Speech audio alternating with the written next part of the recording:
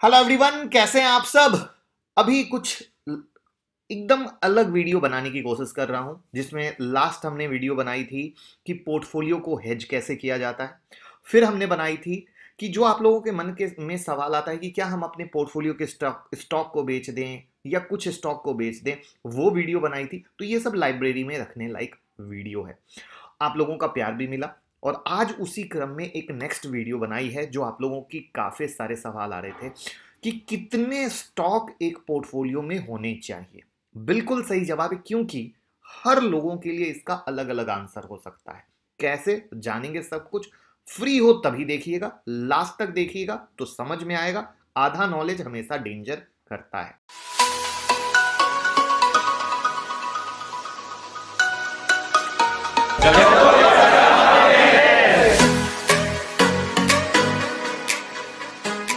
मुकुल अग्रवाल, आपका आप ही के YouTube चैनल में स्वागत करता हूँ।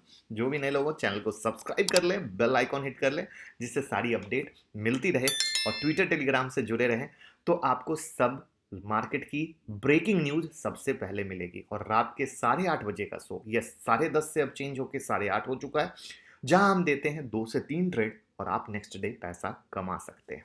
तो चलिए, शुरू करते हैं।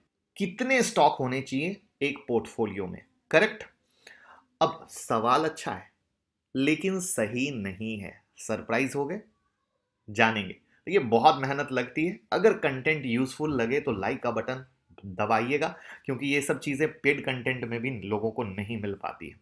देखिए, हर इंसान अपनी कैपेसिटी के अनुसार इन्वेस्ट करता है। कोई दो लाख, कोई बीस लाख, कोई दो करोड़, कोई बीस करोड़। और हर इंसान की सोच, रिस्क, टारगेट, गोल सब अलग अलग होते हैं। इसलिए वहाँ पर सिर्फ़ ये सवाल पूछ लेना कि कितने स्टॉक रखें, ये कभी सही नहीं हो सकता, क्योंकि कोई भी पोर्टफोलियो उस आदमी की सोच, उस आदमी के रिस्क उस आदमी की कैपेसिटी उस आदमी के गोल के अनुसार होगा। करेक्ट तो यानी रिस्क कैपेसिटी समझेंगे, तभी सही सवाल का सही जवाब मिल पाएगा। अब इसमें मुझे पर्सनली एक काफ़ी रियल डेटा देखने को मिला। रियल डेटा में बात कर रहा हूँ, जो इंडियन इन्वेस्टर चाहे स्टॉक मार्केट में करते हो या म्यूचुअल फंड में करते हो पोर्टफोलियो बनाने के लिए और उसमें मेरी आँखें खुली की खुली रह गई क्योंकि बहुत सारे पोर्टफोलियो का साइज़ ऐसा था कि वो साइज़ नहीं था, फुल के गुब्बारा था। यस फुल के गुब्बारा। क्यों? क्योंकि इन्वेस्टमेंट कम और वहाँ पे एक एक पोर्टफोलियो में 50-50 शेयर लेके बैठे थे। क्योंकि आपको पता है कि मैं आप लोगों का पोर्टफोलियो भी चेक करता हूँ, एक स्मॉल फ़ी लेकर पोर्टफोलियो भी बना के देता हूँ। तो वो मेरे लिए शॉकिंग था। और उसमें जो सबसे, उससे भी बड़े झटके की बात थी सरे सरे शेयर पेनी स्टॉक भरे हुए हैं स्मॉल कैप भरे हुए हैं, जबकि उनकी कैपेसिटी नहीं है। ये शब्द भी क्यों बोल रहा हूँ? मैं एक्सप्लेन करूँगा। उनकी कैपेसिटी नहीं है, वो खुद कह रहे हैं, सर, फंस गए। फंस गए।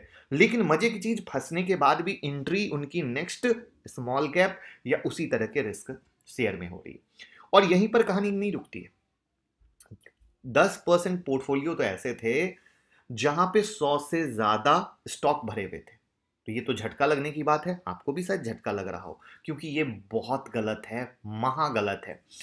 अब यहाँ पर आप ये समझिए कि जहाँ पे 50 से 100 स्टॉक आप डाल रहे हैं, उनकी ट्रैकिंग ज़रूरी है, उनकी समझ ज़रूरी है, उनकी रिसर्च ज़रूरी है। और इतने ज़्यादा स्टॉक तो मेरे भाई म्यूचुअल फंड की कंपनी भी नहीं रखती है अपने पोर्टफोलियो में, जबकि उनके पास प्रोफेशनल फंड मैनेजर होते हैं रिसर्च स्टाफ होते हैं होते हैं ना? तो वहाँ पे एक इंडिविजुअल के लिए इतने ज़्यादा स्टॉक में इन्वेस्ट करने का मतलब यही है कि वो बस भेड़ चाल में चले जा रहे हैं। किसी ने बोला, ये खरीद लो, ओके। किसी ने कहा, वो खरीद लो, ओके। नहीं। तो चलिए पहले आप बताएँ कि आपके पोर्टफोलियो में कितने शेयर हैं कमेंट बॉक्स में। मैं देख रहा हूँ आपके कमेंट को और मैं देखना चाहूँगा कि आप ईमानदारी से सही जवाब देते हैं या नहीं, क्योंकि आपका जवाब बहुत लोगों की लाइफ को बदल सकता है। इसलिए बिना सोचे, बिना समझे कमेंट बॉक्स में ज़रूर ईमानदारी से जवाब दें।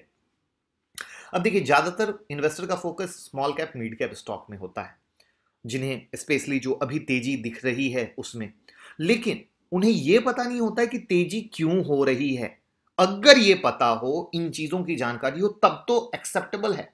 लेकिन सिर्फ़ भेड़ चाल में कि तेज़ी हो रही है और हम घुस गए, वो सबसे गलत है, क्योंकि एक तो उनकी एंट्री होती है सबसे लेट सबसे लेट क्योंकि वो काफ़ी आगे जा चुका होता है। अब इसमें जो सबसे मास्टर स्ट्रोक कह लीजिए स्टार मार्क यानी मोस्ट इंपॉर्टेंट पॉइंट कि जब आप एक पोर्टफोलियो क्रिएट करते हैं तो उस पोर्टफोलियो में जब डिफरेंट डिफरेंट स्टॉक डालते हैं तो एक स्टॉक की वैल्यू आपके टोटल वैल्यू के पाँच से छह परसेंट से ज़्यादा की नहीं होनी चाहिए।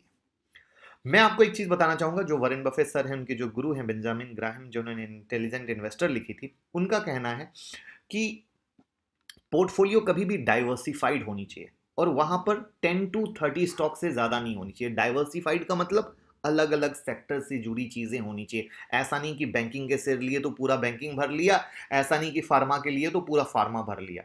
या फिर सत्तर परसेंट फार्मा कर लिया, तीस परसेंट, ऐसा नहीं। डाइवर्सिफाइड होनी चाहिए। अब यहाँ पर कुछ फैक्टर समझना ज़रूरी है, क्योंकि सबकी सोच, सबके विचार अलग है। सबसे पहले बात, आप कैसा रिस्क लेना चाहते हैं? कोई कहते भाई, मैं बिल्कुल रिस्क नहीं लूँगा। चाहे मुझे टेन ईयर्स के लिए ही जाना हो बट मैं रिस्क नहीं ले सकता, मेरी कैपेसिटी नहीं है। तो वहाँ पे आपको ब्लू चिप स्टॉक यानी लार्ज कैप के साथ जाना चाहिए।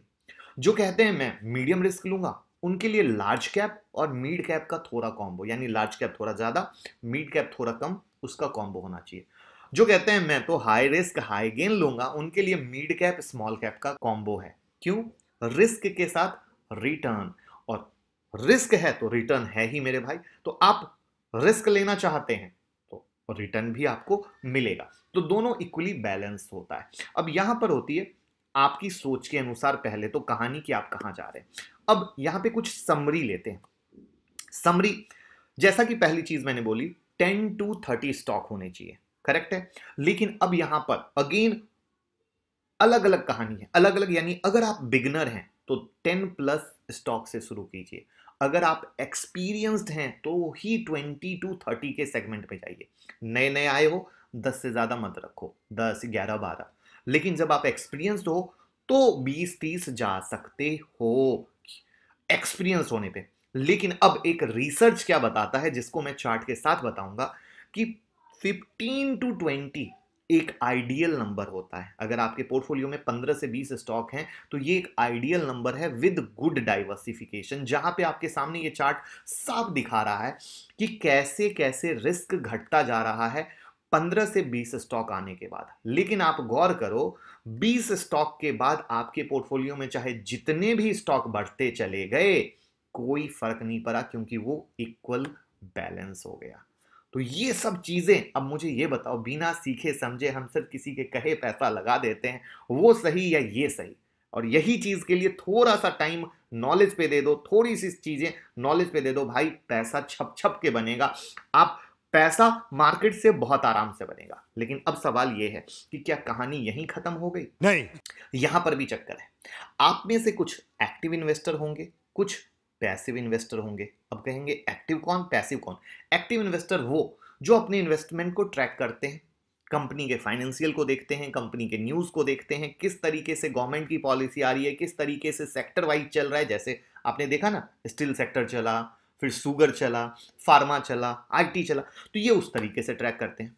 पैसिव वो, जो बस इन्वेस्ट करते हैं और भूल जाते हैं और दो चार पाँच साल के बाद देखते हैं।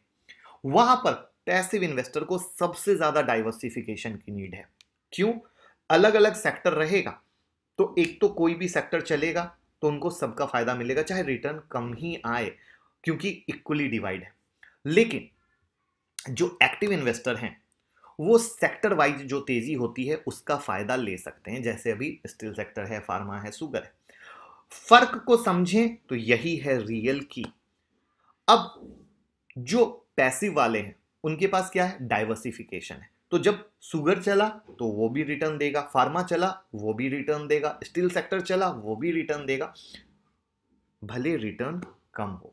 इससे आपको पिक्चर क्लियर हो गई होगी सबकी अपनी अपनी नीड है और उनको वो नीड को समझना होगा और उसके हिसाब से बात करनी होगी। और इसीलिए आज सुबह सुबह ही मैंने ट्विटर पे एक आ, पोस्ट डाला था क्या हम खुद से बात करते हैं? हमें खुद से बात करने की सबसे ज़्यादा ज़रूरत है। हम कौन हैं? हम क्या कर रहे हैं? ना कि सिर्फ़ सुना, किसी से और इन्वेस्ट कर दिए। मैक्सिमम लोग इस फ़र्क को समझ नहीं पाते हैं, जिससे सही रिटर्न नहीं ले पाते या पोर्टफोलियो में ऐसे गंदे स्टॉक भर लेते हैं, जिसके बारे में बात करना भी बेकार हो जाता है। वो खुद शर्म के मारे किसी को बता नहीं पाते। और ये मैं पर्सनल एक्सपीरियंस बता रहा हूँ कि कुछ लोगों के पोर्टफोलियो जब चेक करवाते, सर पोर्टफोलियो नहीं भेजेंगे आपको। आप बस बता दीजिए, हम समझ चुके हैं। तो ये चीज़ें बहुत इंपॉर्टेंट है। यहाँ पे दो चीज़ और भी इंपॉर्टेंट है। एक, कभी भी कर्ज लेकर इन्वेस्ट ना करें। दूसरा इन्वेस्ट करने के बाद भी आपके पास कैश होना चाहिए कि मार्केट क्या है? तेज़ी मंदी का गेम है। अगर डाउन आता है और आपके पास क्वालिटी स्टॉक है तो आप अच्छे वाला स्टॉक नीचे में ले सको। जैसे 2020 कोरोना में डाउन आया। लोगों के पास पोर्टफोलियो में शेयर थे, लेकिन वो भाव जो उन्हें सालों में कभी नहीं मिले थे, वो डर के मारे या तो नहीं ले सके। बहुत लोगों के पास पैसे थे, इसलिए नहीं ले सके। और वो क्या कहते गले तक माल भरा हुआ है, अब कैसे लेते? अरे भैया, क्यों गले तक माल भरते हो? हमेशा थोड़ा कैश रखो। क्योंकि सारे के सारे पैसे को एक ही बार में लगा देना उसको भी इन्वेस्टमेंट नहीं कहते। तो ऐसी ऐसी बारीक बारीक चीज़ें हैं जो इन्वेस्टर को देखनी पड़ेंगी और मुझे नहीं लगता कि कुछ ऐसा मैंने टफेस्ट चीज़ बताया है जो कहीं से मुश्किल है। बस प्रैक्टिकल चीज़ें हैं जिनको बस सलीके से आ, सजा के तरीके से यूज़ करनी है और पैसे कमाने हैं। कैसी लगी ये छोटी सी कोशिश लाइक कमेंट करके ज़रूर बताइएगा। जिससे हम भी बेहतर फ़ायदा ले सके। नेक्स्ट ऐसी ही कौन सी टॉपिक हम कवर करें, वो भी कमेंट बॉक्स में बताइएगा। Thank you so much